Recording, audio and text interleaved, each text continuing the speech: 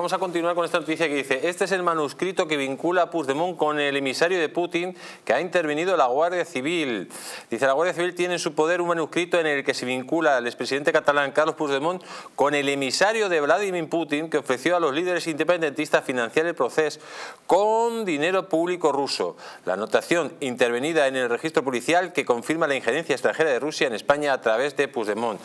El debate ha publicado que el juez que investiga estos hechos vio indicios de un delito de traición en Puigdemont por estos hechos.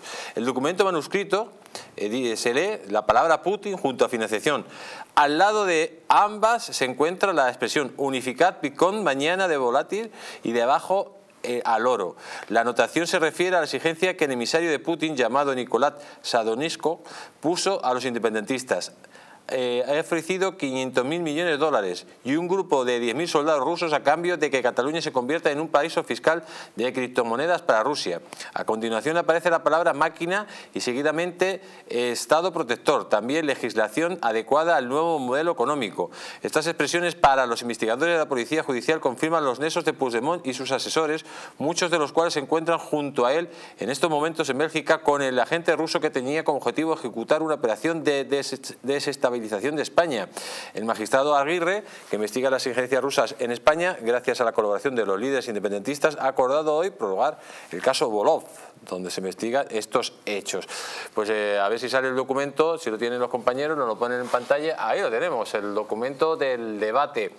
Em, señor Paz, lógicamente eh, es un documento donde sí hay una relación, hay palabras concretas y no sé, a lo mejor lo que usted dice, no hablo directamente con Putin, pero sí con un emisario que estaba tanteando a, este tipo y que estaba dispuesto a, todo lo que le dieran con de conseguir la independencia. Más allá de nuestras opiniones, eh, que además si esto sirve para frenar todo este dislate y esta atrocidad de la amnistía, bienvenido sea y ojalá fuera cierto si esto sirviera para pararlo.